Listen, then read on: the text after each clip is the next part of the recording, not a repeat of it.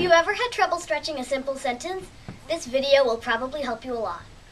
Let's start with a simple sentence such as the wolf howled. How about adding some adjectives to wolf, like gray and fluffy?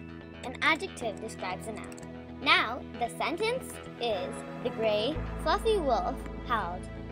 Why don't we toss in some adverbs? Adverbs describe a verb and an adjective. One example of an adverb is loudly. Now the sentence is the gray fluffy wolf howled loudly. Where did the wolf howl? Maybe on a cliff.